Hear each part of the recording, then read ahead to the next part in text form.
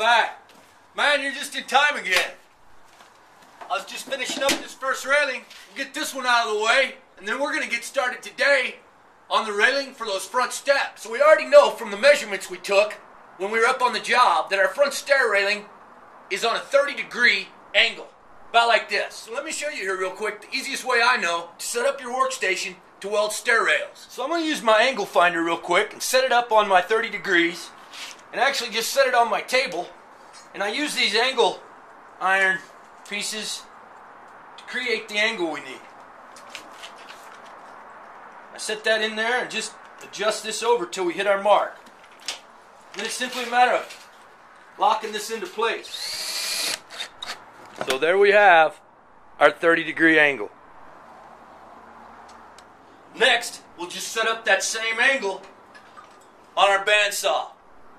Start cutting all our parts and pieces. Alright, so now we can get out our last piece of 8 foot railing and cut it down to length. We're going to be cutting this one long to short.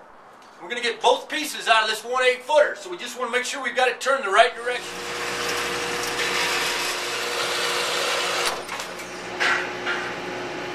Alright, now just like before, we want to take time now to put a good bevel on all four of these corners.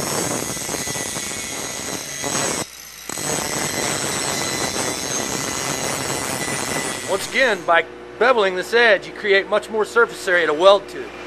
Now we're just going to cut these balusters. and We'll be ready to weld.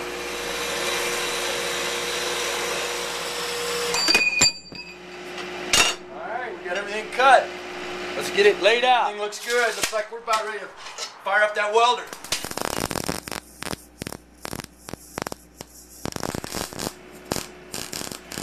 Alright, we got all four corners tacked off. Everything looks good. Let's weld this thing up.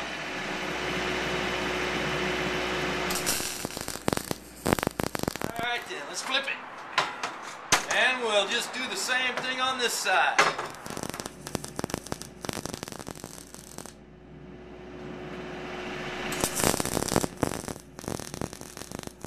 So now it's just a matter of getting these mounting brackets prepped.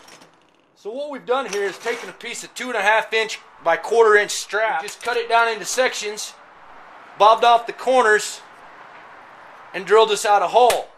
We did the same thing here. see, we just had a piece of three inch by quarter inch strap. We cut it on the 45 and bored us out a hole. So now it's time to make these things look a little distressed.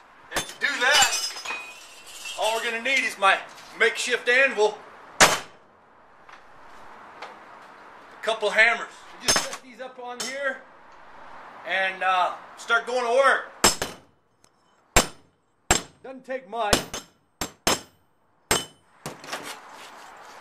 We'll switch hammers from time to time. Leaves a different mark.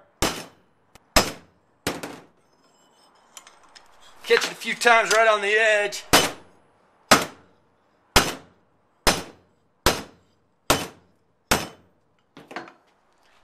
And that's what we're looking for. So we'll just take a minute and do that to all eight of these.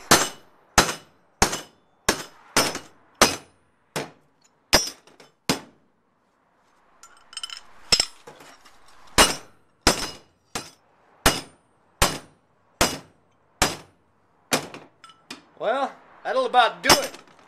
Now we'll just get these welded on. And I'm guessing you know how we do that, right?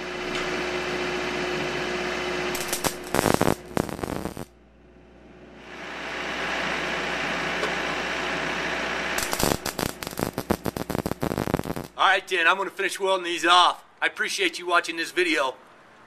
If you want to learn more, come on back next week. We'll have these painted up. We'll go get them installed. This has been Mitchell Dillman with LogFurnitureHowTo.com. We'll see you again next week.